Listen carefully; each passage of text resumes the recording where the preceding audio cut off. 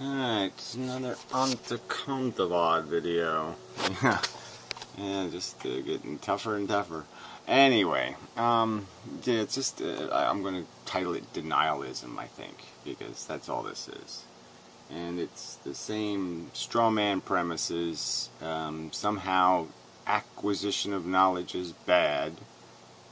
yeah, that's, that's what he's saying. Acquisition of knowledge is bad because it's going to make you realize that there are problems and you're better off not realizing there are problems. That's essentially the game.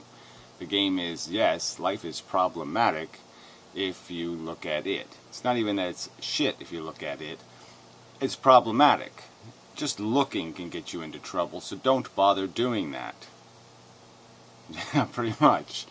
I mean, it's just don't take the reality boat. That's what he's saying, right? If the boat says reality on it, don't get on. Miss it. Miss the reality boat.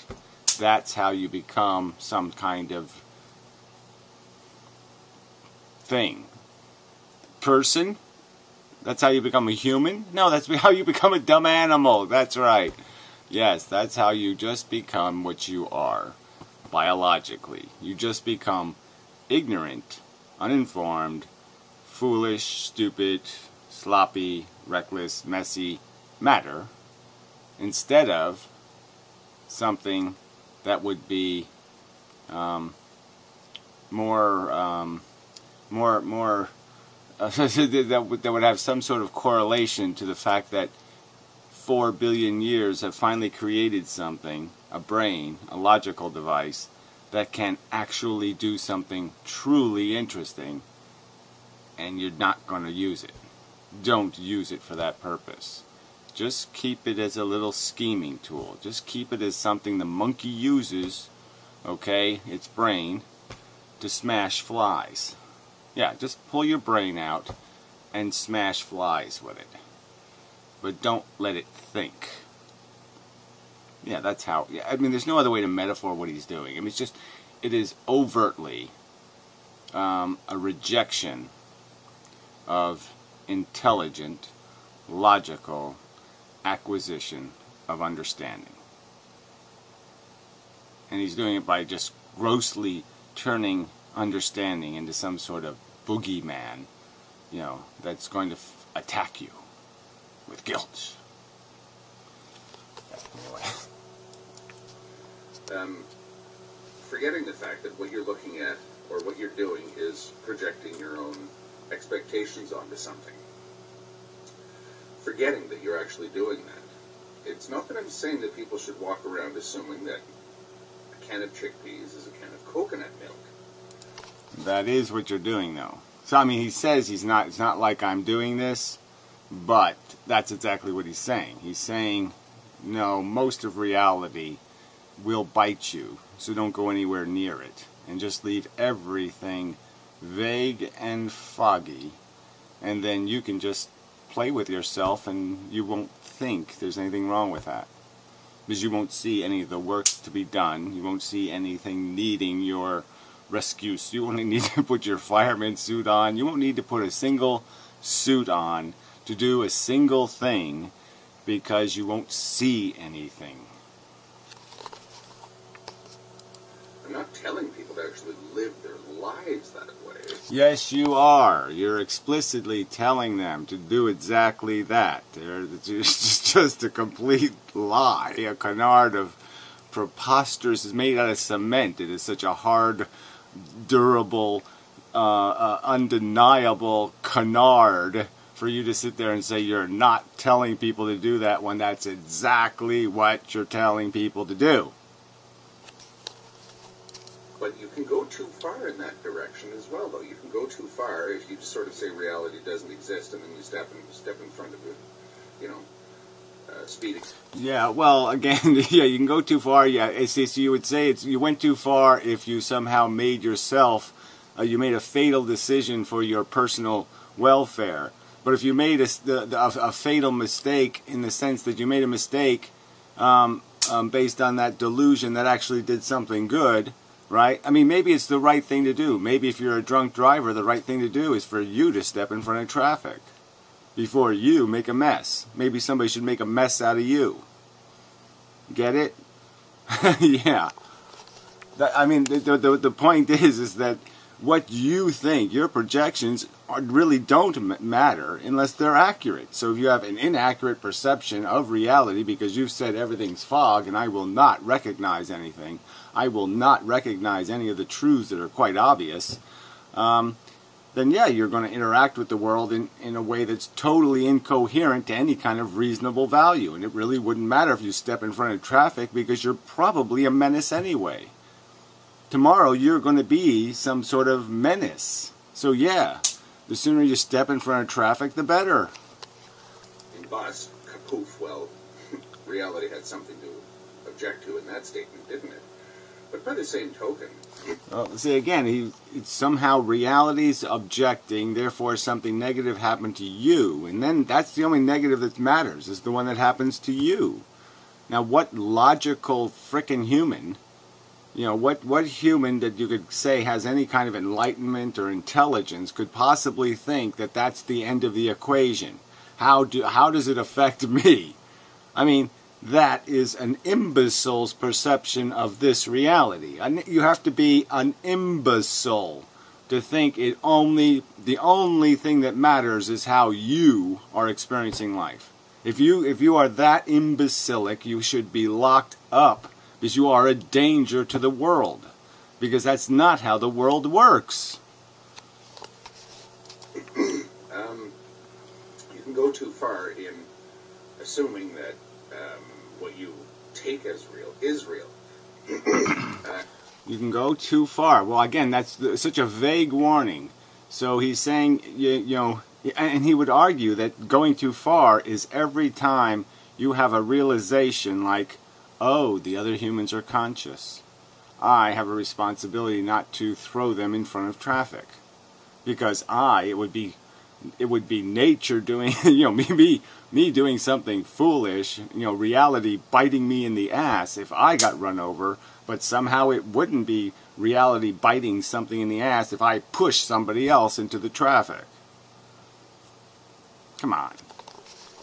Um, I'm going to get in trouble for this, but my favorite example of somebody who does this, or it looks to me as though this is what's happening.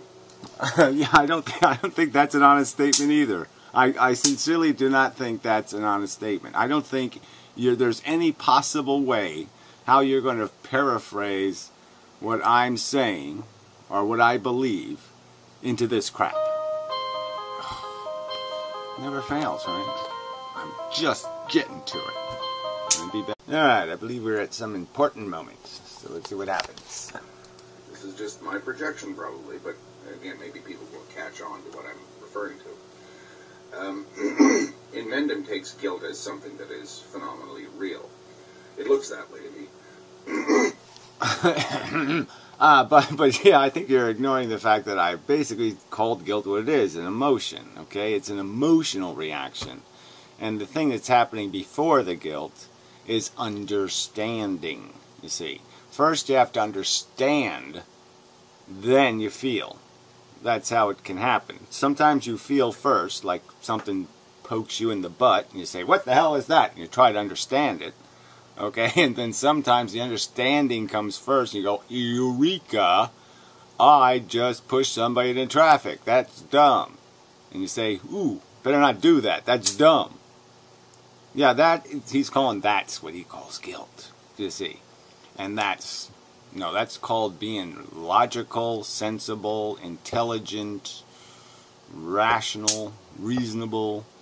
Um, that's your only hope of efficiently navigating the game of life, the game of living a real life in the real world requires you to understand that other people feel like you do, and if you throw them into traffic, they're not going to like it any more than you would. He argues it with extreme um, vociferousness. Yes. And he bludgeons people and himself with it more or less constantly. No, I don't do that. I bludgeon. Yes, I bludgeon people with intellectual awareness. Yes, I'm enlightening them to the fact that, like really simple things, okay, that they have a brain and that brain can do logic, okay, and that brain can acquire understanding, that things have properties some things have this property, some things have that property, some things have that property, different properties. And when they have different properties that are, you know, connected, you put them in categories. So properties put things in categories. And then the category becomes a property. See, I'm in the category human, or human in us. yeah um, because I have certain properties. I'm not a can of chickpeas. Chickpeas are not in the human category, they're in the food category. Get it? God, what an asshole I am for making a distinction between a human being and a can of peas. Silly me. Uh, it's something that is real, it is inevitable, and it is immutable, and it is one of the fundamental building blocks of reality itself. Yeah, well, that's when you get to this whole, you know, it's a nasty business. The whole evolution of the matter and the fact that the matter's doing this push pull thing. All the matter's just being pushed somewhere or pulled somewhere. Push pull, push pull, push pull. It's all being jerked off. And if you're smart, you can say, holy shit, we're getting jerked off. Rather than being something that is useful, guilt has become something absolutely immutable. Whatever. I mean, immutability is now somehow the antonym to useful. Huh? No, that's not the proper antonym. If you want to have an antonym to useful, it would be something like catastrophically destructive to your productivity. Okay, now that argument you can't make, right? You can't rationally make a video saying, my beliefs or philosophy or ideology will be catastrophic to your efficient function in the world. Now, you're not going to be able to make that argument because you're the one with the useless philosophy in terms of playing the big picture reality game. Because, yes, you're sitting on the dock. You missed the reality boat. You on purpose said, I don't want to be part of the real world.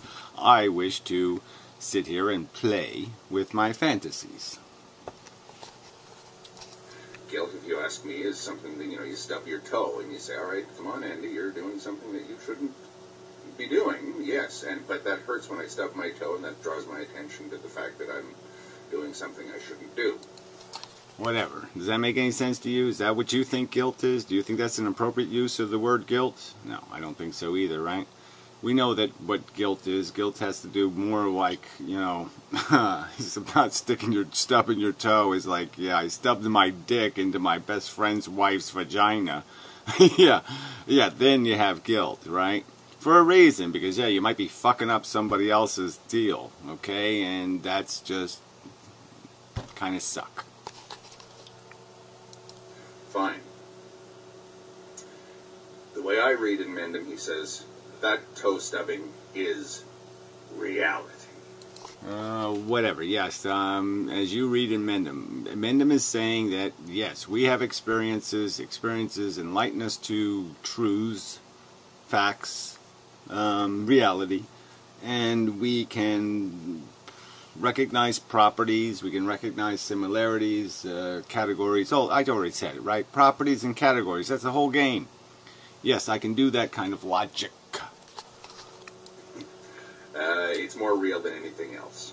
Yes. the only thing that's real is that you exist in this material void, and the material void has these things called feeling creatures in it. Okay? It has a category, feeling things. And that the welfare of the feeling things is important. Everything else is crap. But the feeling things aren't crap. So the only anti-crap in the entire universe is in the category feeling thing. And you want to try to interact with the feeling things as if they were precious commodities, as if they were like China in the China shop. right? So when you go into the china shop, what do you want to do? You want to be a dumb bull who just waves his horns around, knocks shit all over the fucking place because you missed the reality boat? Right? You want to be tripping and then, you know, stubbing your dick into some woman's vagina, you know, without asking permission? You want to be doing silly things and being a silly person? Or you want to get into the china shop and say, hey, that one's got some dust on it, and that one's on the edge of the cliff, and that one's over there. And you want to be organizing and helping out, making the china look pretty and make the china work together so it doesn't, you know, cause any kind of noises that might blow the china up or do something else to make all the china fall off the shelves and make all kinds of crashy crash noises. Yeah, you want to be uh, an efficient interactor with the delicate, valuable china. Yeah, that's what Inmendham says. And we have to, that is a fundamental thing that we have to eliminate is the toe stepping. Guilt. No, you have to, yes, we have to eliminate stupidity, dumb, idiotic, moronic, inefficiency. We have to say that, yes, waste is stupid. If you don't need to stub toe, don't stub toe right? Not too complicated, right? Yeah, get rid of all the unnecessary messy messy that you don't need. It doesn't have to happen. If you can prevent something bad, prevent it.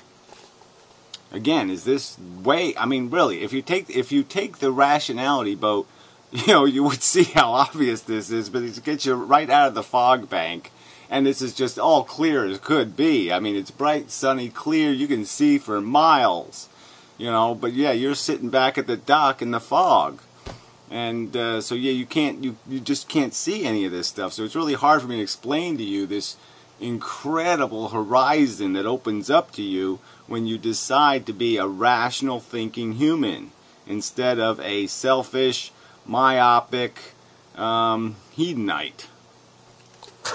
yeah.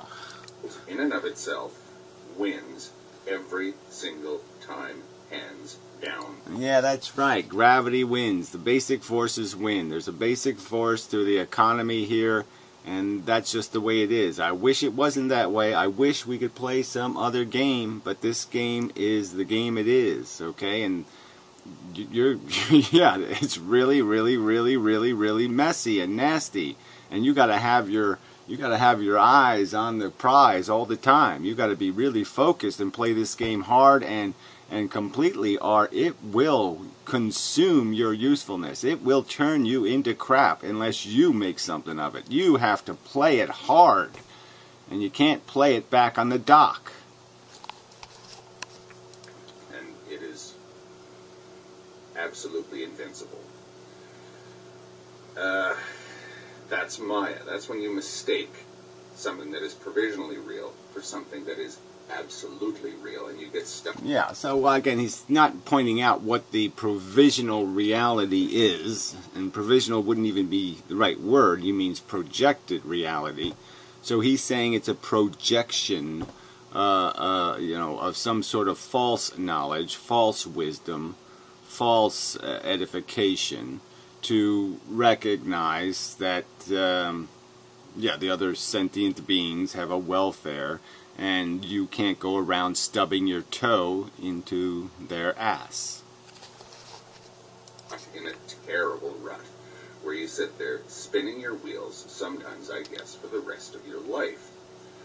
Again, I do apologize if I'm strawmanning anybody, but I think that I'll. yeah, well, apology. Yeah, you got a smoking gun right? And you're just you're sitting. Oh, hey, I apologize if bullets came out of the gun when I pulled the trigger, but all I did was pull the trigger. I didn't do anything. I just pointed the gun, pulled the trigger, and the bullet came out. Yeah, I put the bullet in the gun. Yeah, yeah. But sorry, somehow that's an accident. No, no, no, no. Sorry, no sale. People can see where I'm at least where I get this idea. Yeah, well, you get this idea because you're desperate to come up with some kind of bibble babbly boo where you can somehow make logic and rationality and sensibility into nonsense so you can be a silly bull in the china shop. So you can be an asshole. You're just saying, I want license to be an asshole because if I have to play in that real world, damn, that's work. I have to have like integrity and janitorial rationality, and I have to think about value equations, and I have to measure what I'm doing, and I can't just play and have fun like a little five year old. I have to take responsibility, and I don't want to do that. I just want to shit in my pants, and I want to piss wherever I piss, and I want to do whatever the fuck I want, and I don't want to be a grown up. And that's all you're saying. I don't want to grow up. You're just Peter Pan syndroming. Okay, I know you don't look like, you know, Peter Pan, but that's what you're doing, buddy. Studying what he has to say. Um, now, what? How do we apply this, and what difference does it make if we want to know the difference between what is provisionally real and what is absolutely real, or maybe nothing is absolutely real? Who knows? Who knows? Who knows? I mean, he keeps talking like we just can't, like, it's you know that we can't tell the difference between the moon and the space shuttle. That somehow we don't know what the the vehicle to get someplace is or what the someplace is. We don't know the location from the the trip. We don't know the journey from the destination. I mean, come on, we do. So so quit talking like this is that confusing. Quit talking like we can't see enough of what's out there you know, the glimmers of the rays of the sun through the fog to know, yeah, if I just take that reality boat and, and oar myself, row myself a few feet out of this fog, it's all going to get damn clear. But I'm not going to get anywhere just staying in the fog. Where, what about the distinction? What, what difference does it make if we're in the matrix? What it makes all the difference. Okay, now if we're in the matrix, isn't that a wonderful way to just start a sentence? If we're in the matrix, if we're in a unicorn's ass, okay, let's just make up a completely fake reality and say that is reality, and therefore, yeah, obviously logical rules don't apply anymore. That's right, because you're not in a logical place anymore, a place that we know to be contingent on certain facts or facts. So you want to pretend up is down and left is right and all of that crap because you want to shit in your pants. I mean, come on, there's no, there's no other reason to do it than because you want to evade the burden of accepting reality. Accepting reality is a pain in the ass. Whether or not we actually believe in it. Like, who cares if if this is just an illusion, it might as well be an illusion. Right, right. Might as well be blah blah blah. All this talk like it doesn't matter. No, it, I I frankly don't see it as a, a might as well be issue. I'm certainly quite aware of my own personal safety and welfare and comfort. I certainly don't just you know, burn the house down, say, who cares? I don't just leave the oven on or do this or do something stupid that's going to get me homeless because I recognize that that's going to have implications and I'm not going to like those implications. So let's not pretend I can't apply the same judgment to everything else I do in the real china shop of reality. Remember the bit about the guy chewing on the steak uh, in the movie The Matrix? He's just sort of says, I don't care if this is an illusion, it tastes good. um, that's an open question.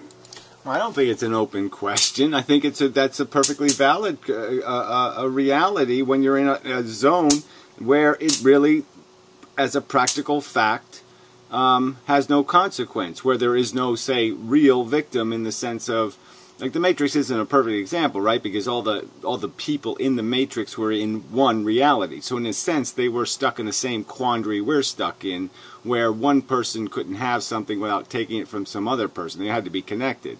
Where a virtual reality could be created, where all the other victims are synthetic. And now it doesn't matter. Now you can eat the cow because the cow never existed. The cow is synthesized. The, the, the flesh doesn't matter anymore, so the gluttony wouldn't matter. But in a way, the Matrix was just as burdensome as this reality, in the sense that in the Matrix, all the other battery people were connected to each other, and you could kill the other battery people.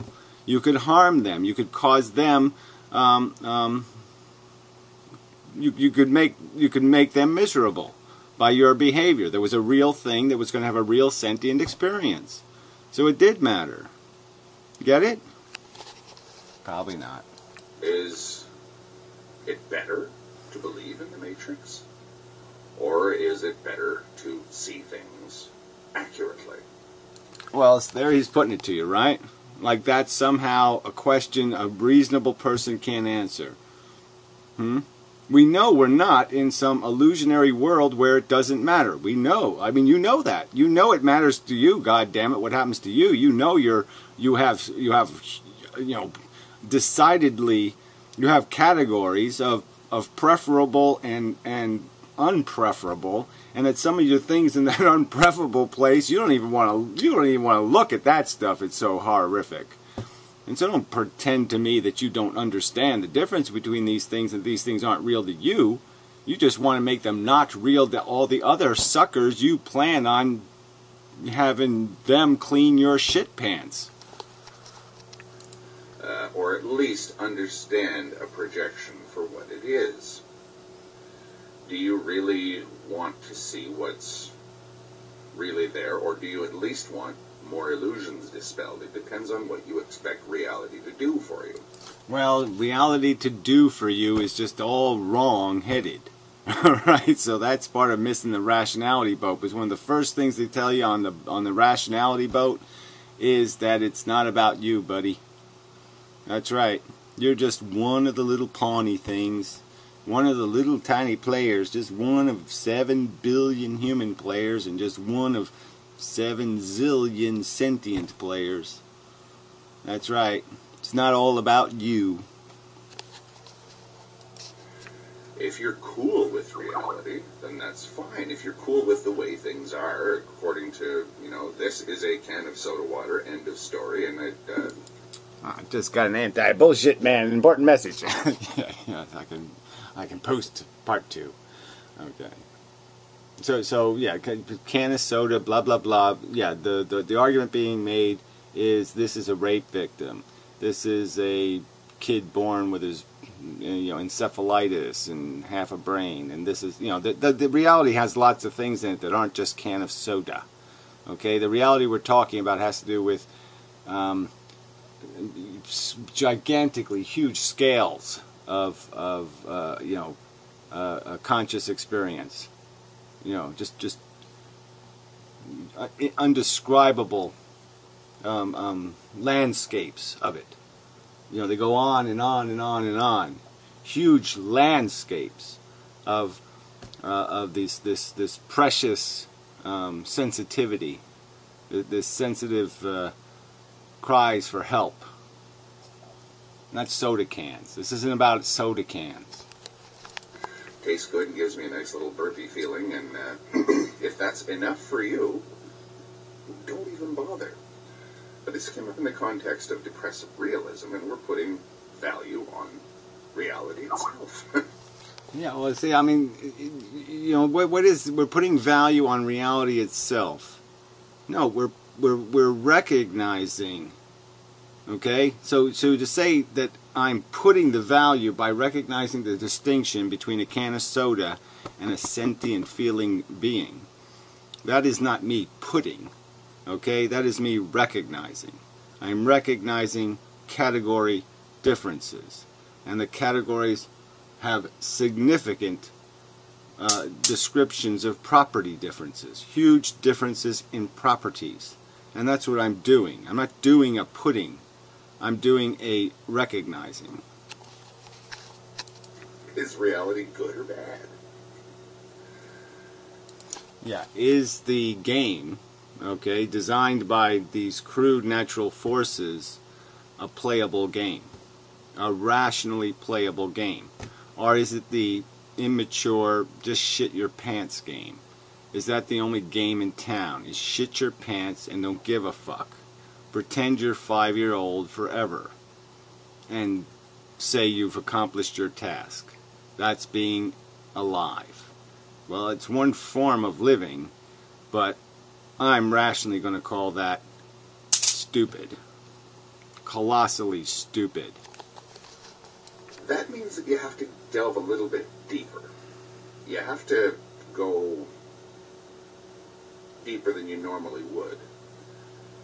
I mean, it's sort of amazing, right? He's talking, about, about how come it's how he's how he's going to struggle and go work harder to sit on the shore and stay in the fog.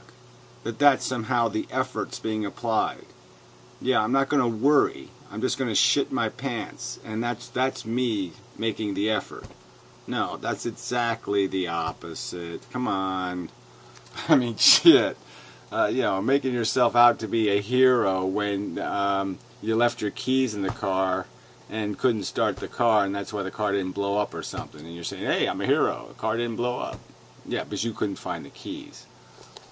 If you don't, you risk dealing with things like ethylism, running across um, things like even, I guess, religion. It, no, religion is back in the fog, okay? You can only have the religion thing when you're back in the fog. When you row a few feet into the light, okay? Yes, all illusions in the clouds, all the fluffy little weird faces go away. And you see a clear sky, and there ain't no unicorns, there ain't no gods, there ain't no voodoo, there ain't no wolf man, there ain't no Dr. Dracula or something. There ain't none of that shit. All that shit turns into what it is uh, cartoons. It's you, you're just saying that certain things are immutable. The Muslims would say there is no God but God, and Muhammad is his prophet. Boom, there. That's the base rock around which everything else. Right. So he's going to make that comparison. He's going to say that's what the Muslims say, and that those crazy evolution people say, oh yeah, dinosaurs and evolution and blah blah blah blah. Well, fuck them. That's just a crazy, crazy thinking. Well, yeah, fuck them. Well, they have fossils, but yeah, fuck them. That's just fossils. It's fossil smossels. They're just as wacky. I mean, you know, so so again, he's not making a distinction between scientific discovery and religious fable, religious connivery, religious canardery.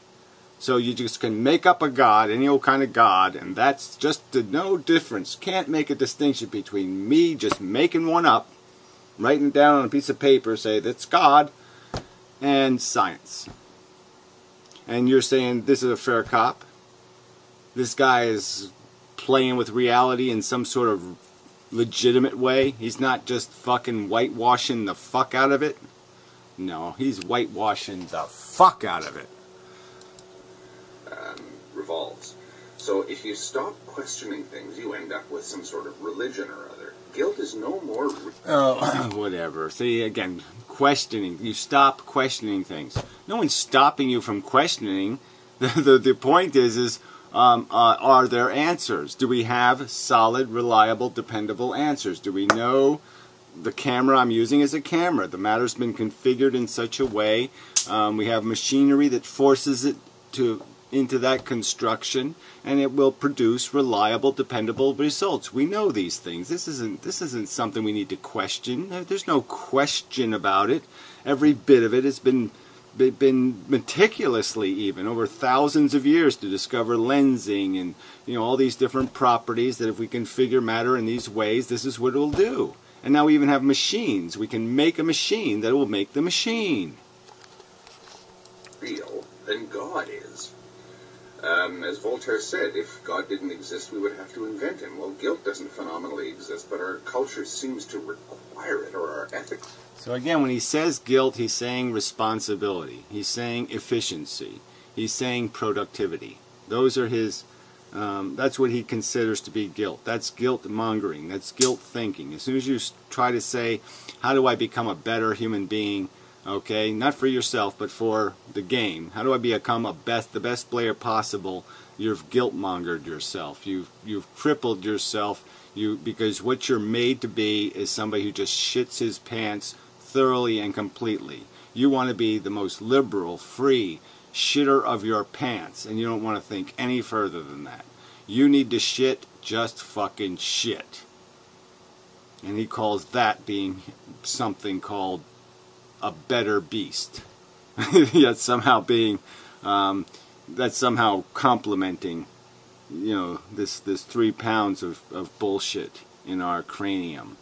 And I say you've not you've just thoroughly insulted your intelligence if you think all we're all my brain is here to do is shit my pants. No, my brain can do better than that. The system seems to require it.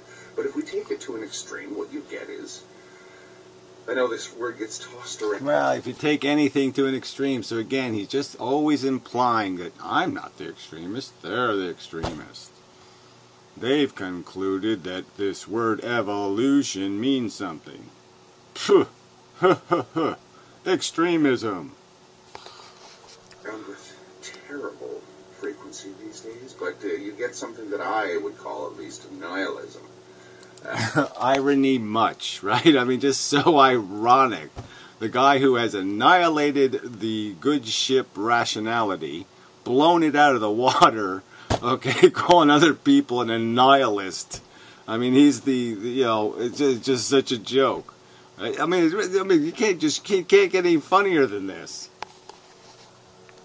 Um, I mean, it's it's you know, I just thought of the you know once again the Jack Nicholson line in in uh, as good as it gets. You know, uh, I think of a man and eliminate accountability and responsibility, uh, reason and accountability. Yeah, reason and accountability. You know, in describing because he, he writes women so well. And I, I'm just saying, "Wh- what is this? He's he's isn't he? Isn't that all he's saying? Reason and accountability. Kill them. Become a dumb woman and shit your pants. Fuck. the cessation of existence is a viable and desirable goal in and of itself. Um, that's Well, whatever the conclusions may be, you you know you, you don't like the the conclusions that rationality may lead to. They may be disconcerting. They may cause some dissonance with your sense that damn, there should be a playable game here. And you know, reasonably, you're going to oh, damn it, damn it, damn it. It's just built wrong. It's built badly.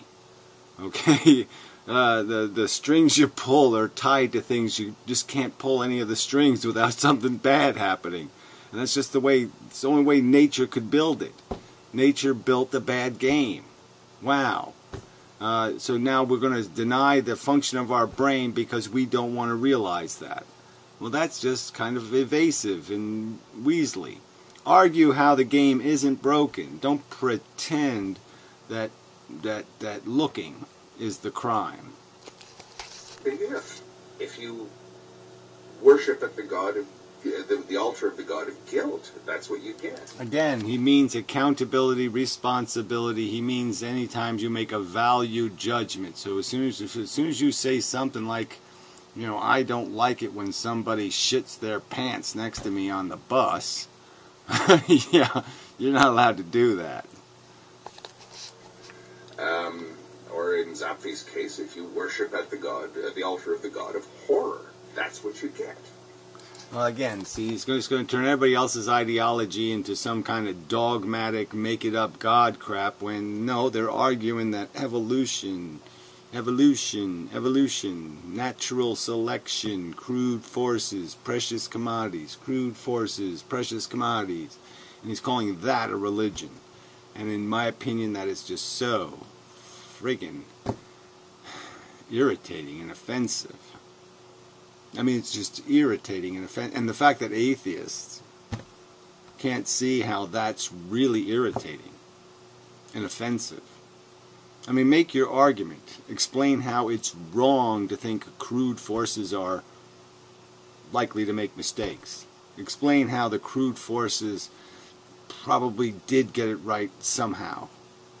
okay, but don't don't pretend, uh, you know, to tell me that I can't tell a tornado from a cupcake. You get some sort of, oh, I've run up against something that is invincible, and there's no other way for me to deal with it. Well, the problem is, of course, you Yeah, well, dealing with it is just, yeah, you know, that's just sort of bullshit. The way you deal with it is to um, accept and and and you know logically process. If the dealing with means or back to the shore, or back to the shore, let's get back to the fog, because we don't want to see the, this world of accountability and responsibility. I mean, that's just bullshit. I'm sorry, that's just fucking bullshit. Roar, ro- rowing back to ignorance is is no answer, buddy. constructed something that you believe is real.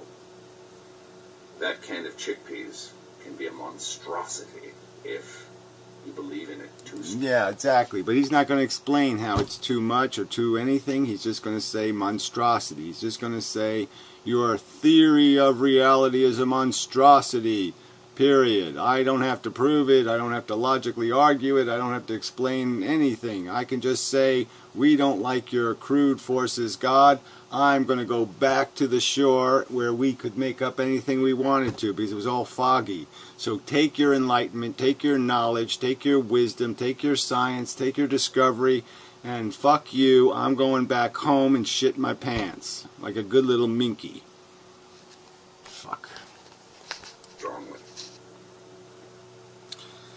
Alright, I believe I've accomplished the task. And I didn't even have to, like, I didn't have to speak an English language or anything else. yeah, I didn't have to use any kind of falsetto voices or any kind of tremendous drama. Uh, no Shakespearean angst at all. Yeah, I did it like, like it was nothing. yeah, yeah, such a, you know. I could row out here forever. No problem. I mean, once you get used to this whole navigating reality thing, you realize that no, you just do the best you can, buddy. You do the best you can, but you try not to shit your pants. Damn it. Come on.